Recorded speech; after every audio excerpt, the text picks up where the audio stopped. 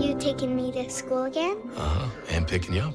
Daddy, Two planes have crashed into the World Trade Center, and an apparent terrorist attack. What is that, a part of some drill? Ain't no drill. 19 men attacked our country. The 12 of you will be the first ones to fight back.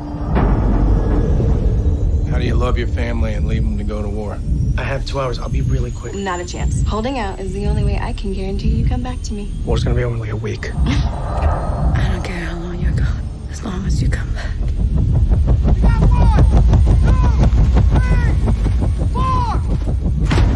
Every step we take is gonna be on a minefield from a hundred different wars. Odds are we're not all gonna make it out of this one. We don't take that city. World Trade Center's just the beginning. We're teaming up with the general of the Northern Alliance that we know nothing about.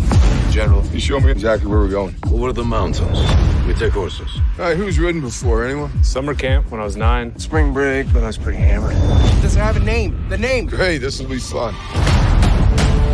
We're outnumbered. 50,000 Taliban Al Qaeda fighters. We're on our own. I can't order anyone to do this.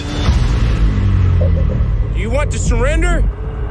Keep your finger on the trigger. Stay there. Oh, God. Well, I won't back down. There's no playbook here. We're gonna have to write it ourselves. No, I won't back down. I ain't losing one man on this team. You could stand me up at the gates of hell, but I won't back down. We're fighting with horsemen against tanks.